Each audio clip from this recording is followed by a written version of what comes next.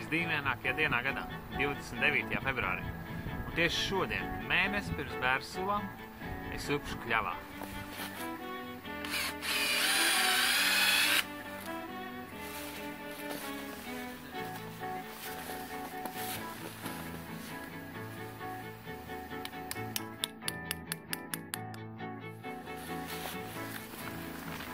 Nu ko, 29. februārs, bet soli jau tek. Tā kā krāsim sulu un spēkus. Ceriet arī jūs.